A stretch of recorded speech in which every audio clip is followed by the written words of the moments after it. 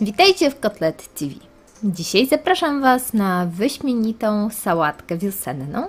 Jest to sałatka z truskawkami, ale także z żółtym serem typu parmezan.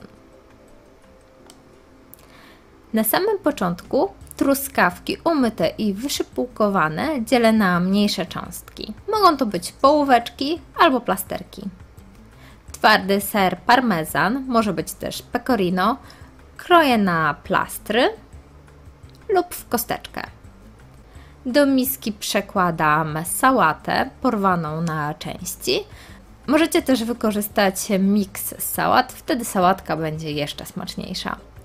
Do tego możecie dodać troszkę kiełków, polecam kiełki wyhodowane w domu, kilka kulek mozzarelli, pokrojony ser parmezan, a także truskawki.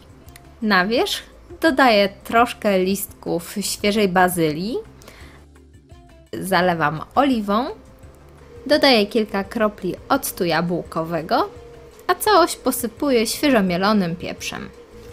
Taka sałatka jest naprawdę bardzo sycąca i w sam raz na upalne dni.